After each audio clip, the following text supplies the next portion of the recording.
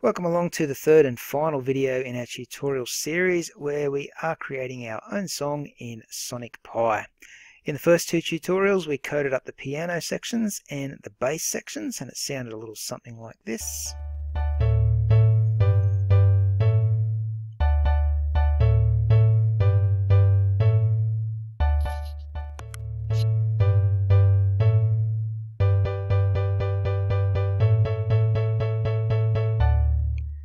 Beautiful, so I can hear the piano and the bass nicely there. So what we've got left to do now is just add the drums in to our track. Okay, so what we're going to do with the drums is we're going to make use of some um, built-in sounds that come with Sonic Pi. They're called samples. Okay, and using those samples, we can quickly throw them into our song and it will sound like a legit drum kit is playing in the background of our song. So we're going to start on the kick drum. Now the kick drum is the big drum that you play with your foot. Okay, so to get that started, we simply write the word sample. When you want to play uh, one of these samples, you just write the word sample. Put a space and then a colon and write down which sample you want to play. In this case, we want the drum heavy kick.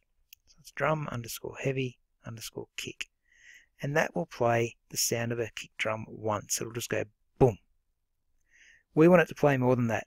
Now I did a little bit of maths before I started this tutorial and I worked out that we need to actually play this uh, kick drum 33 times to get it to play throughout the entire song. So let's make a loop before this kick drum is played. So in the line above the kick drum here I'm going to write 33 dot times and then the word do. Okay, after the word do, what do we want to do? Well, we want to play the sample drum heavy kick. After each um, sample of that, we want to sleep for 0.5 seconds and then we're going to end it. Okay, that's our loop right there. So it's going to happen 33 times and what's going to happen is we're going to play our kick drum once and then it's going to sleep for half a second then it goes back to the start and does it again and that just repeats itself over and over and over 33 times, which should take us up to the end of the song. Uh, now to test that out, we actually need to play it at the same time as the bass and the piano. And if you remember from previous videos, what we need to do is we need to write in underscore thread above our code and write the word do. And then at the end of our code, we just write the word end. Okay, that in thread basically says we're going to mash this sound up with the other sounds already playing at the same time. So let's have a listen and we'll see if we can hear that um, kick drum playing in the background. There it is. Alright, so that's sounding good. Okay, I don't care if it goes right to the end or not just yet. We'll worry about that in a minute, but so far, so good. What I might do just to break this section up too is put a hashtag in just write drums. So I know that I'm working on the drums section here. Okay, remember comments come in handy. Just explain what is happening in your code. Okay, so we've got the kick drum going on. Next thing we might whack in is the snare drum. Okay, um, hard to explain the snare drum, but it's basically the main drum that gets hit when you are playing the drums. You'll know it when you hear it in just a moment. What we're going to do is we're going to write in, um, we're going to sample space colon the drum underscore snare underscore hard. Okay, we're hitting that snare drum pretty hard. That's the sound we want to go. After each hit on the snare drum, we're going to sleep for half a second, and then we're going to start repeating this over and over again. So at the moment, it only plays once we need to make a loop to get this playing over and over throughout our song. So again, I've done the maths for you. We need to repeat it 16 times. So we write 16 dot times above our snare drum there. And we write do. So what do we want to do 16 times? You want to sample our snare drum and then sleep for half a second. Okay, and then we're going to end that. Okay, now what we're going to do is we're going to put the in underscore thread above this as well, so it mashes in with the rest of our sounds, so they're all threaded together. So in thread do, 16 times do, the snare drum and the sleep. We end it, and then we've got to end this thread as well. Alright, I don't think that's going to quite work yet, but let's just have a listen and see what it does.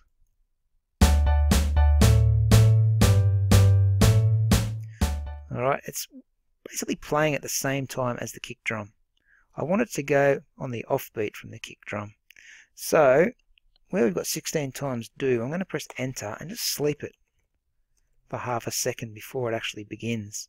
That way there'll be a rest when that kick drum plays and then the snare drum will play. Okay, let's have a listen and we'll see what happens then. I might slow it down a bit too, which is what I'm looking for. That's better.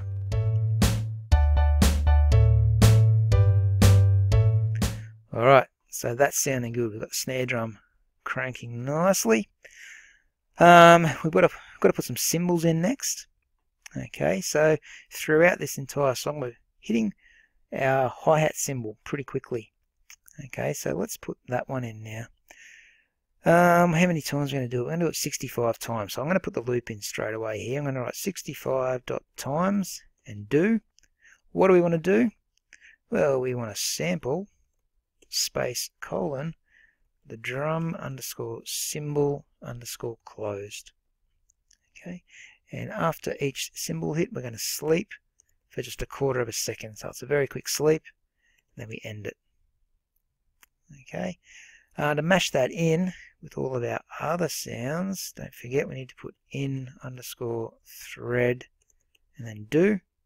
And right at the bottom, we need to put another end in. Um, don't know if that's going to work. Let's have a listen. Pretty good.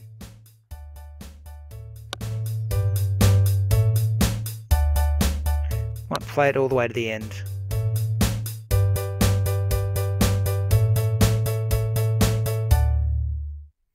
Alright, that's sounding pretty good. Alrighty, so we've got our cymbals looking good. Um, what we might do now is just jazz it up a little bit and throw in a few fancy little hits on the cymbals and the drums here. So I'm going to write this from scratch. Just do in thread do.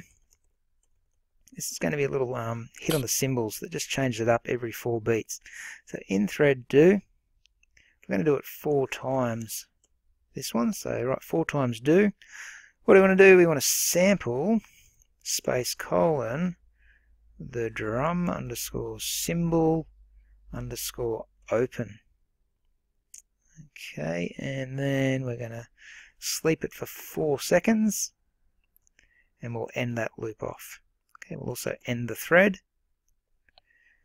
See how that sounds. So every four beats you should hear the cymbal change itself up.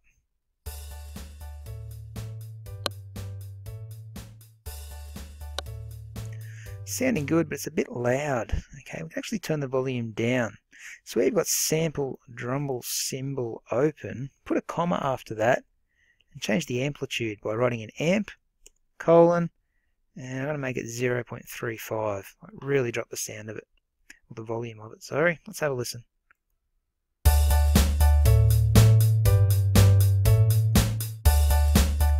Yeah, that sounds better. Much more on par with the um, the other cymbal. And what else we got? Uh, the drums. Every four beats I might just play a little soft note on the snare drum. Okay, so let's just go from scratch. In thread do. That's just going to match this sound in with the other ones. Um, what are we going to do? We are going to, before we actually play this, uh, we need to sleep it for a little while. Yeah, we'll sleep it for 3.9 seconds. Then we're going to repeat it four times. So 4 dot times do. We're going to sample the drum snare soft sound. Okay, we're not hitting it hard anymore, we're just hitting it softly. Then we'll sleep for four seconds. And we'll end that loop and end that thread. So basically we're going to hit this snare drum softly, sleep for four seconds, and then do it all over again. Okay, it's going to sleep at 3.9 seconds before it comes in the first time. So we won't hear it straight away. Let's have a listen.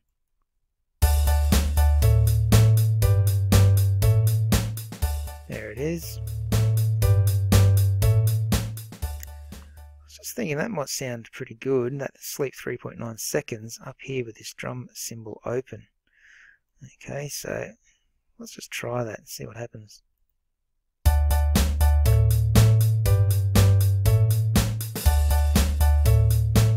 Pretty good.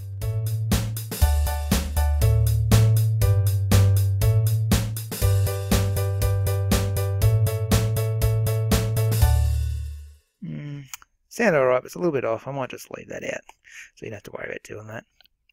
Alright, uh, last thing I might do is just have a crash cymbal get played at the very end of our song. Okay, so let's start with the in thread, so it plays along with all our other sounds. Put do in. Now we're going to sleep for 16 seconds before this one's played. There's no loop on this one because we're just playing the sound once. So let's just sample the drum cymbal open. And we'll end it. Okay, so after 16 seconds, when we're right at the end of our song, we'll play the drum cymbal open. And that's it. Okay, I think our song is finished. So let's give that a run and we'll see how it goes.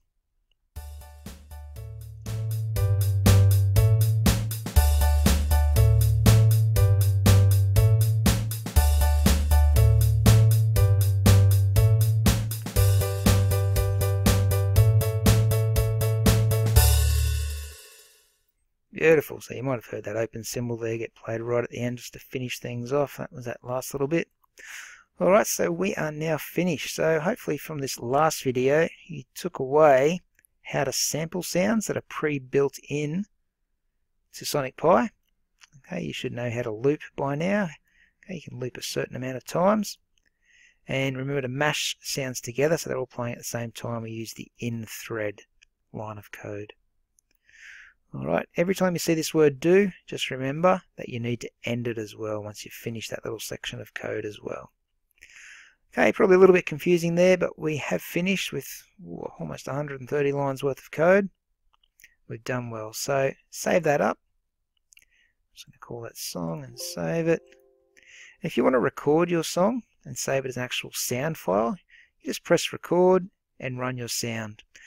Okay, as soon as that song is finished playing, you just hit record again. That will stop it, and then it will ask you where you'd like to save your finished sound.